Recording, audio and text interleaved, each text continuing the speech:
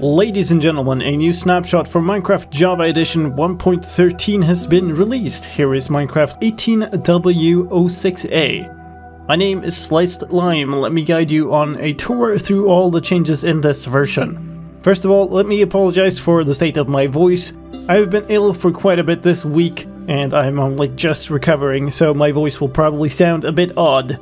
With that said, there are several new things in this version. One is the final big change to the technical revision that was going to be the technical update, which has now been merged with the update aquatic, but here is the last big rewrite for the back end of the game. Making the game better, it is a rewrite of the world generation system. This change has two purposes. One of them is that it is more extendable. You can now provide settings through JSON files, and the other is that it is more efficient.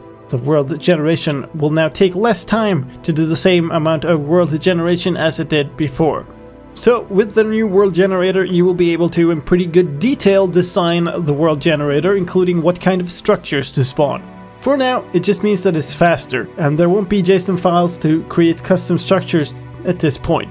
Now, a whole bunch of caveats with this one because it is the first version with this new world generator. Customized worlds don't work yet, there are plans to re-add them in a much more extensible way, but customized worlds cannot be opened in the snapshot. We'll get to more warnings down the line about this, but let's move on to other new things in this version. Let's talk a little bit about gameplay. There's now a furnace recipe book user interface. It's very similar to the crafting recipe book.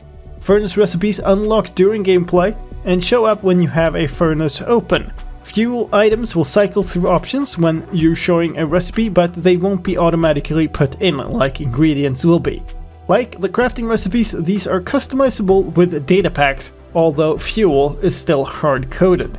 Bugs that have been fixed in this version include the recipe book tab switching would play sound twice, and holding tab to show the playlist would sort the player names based on ASCII values instead of alphabetically in your language. Also, nether portals couldn't be activated from the side anymore in a previous snapshot, and that has been fixed in this one. Another redstone related bug fix, flint and steel inside of a dispenser would lose durability even if it didn't ignite. Now, other changes to tech and command stuff, there are new blocks in conjunction to the new world generator. They are air blocks, work exactly like air, but they are called cave underscore air and void underscore air.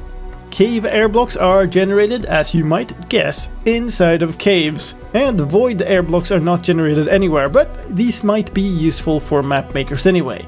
In terms of data packs, the paintings.json recipe file didn't use the wool data tag, and that is fixed in this version. There are also some new item and block tags in this version. They are banners, plates, slabs, stairs, and boats. And with the new world generators there are more structures that can be used with this slash locate command. More command fixes, the slash enchant command has been re-added. It was previously set to be replaced with a modify item command, but that has now been shelved, might return in a future version, but for now the slash enchant command is back in the game.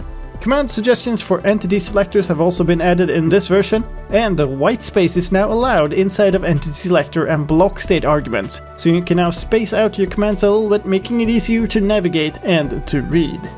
There are also some fixes for the parser which would not give error messages on some things that should give error messages, and the tab suggestion has been improved further so that cycling through values is now done correctly and also it doesn't crash the game anymore if you close a square bracket without opening one first.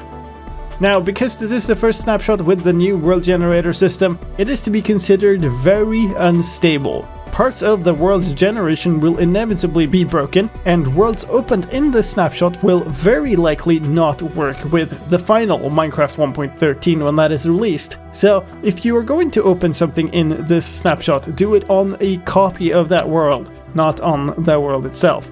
There are some things that we've already heard reported about this snapshot that are broken. The nether generation is weird, you can see all the way down to bedrock in some cases, and there are upside down trees generating in the overworld that look like tree stumps. I've also seen reports of some problem with the generation of end city, in specific of the frequency of end cities, but I don't exactly know what that problem is at this point. Also, keep in mind that if you open a world in this snapshot, you will not be able to downgrade it and play it on Minecraft 1.12 again. With all of those caveats said, if you want to try it, head into your Minecraft launcher, click Launch Options and enable snapshots in there.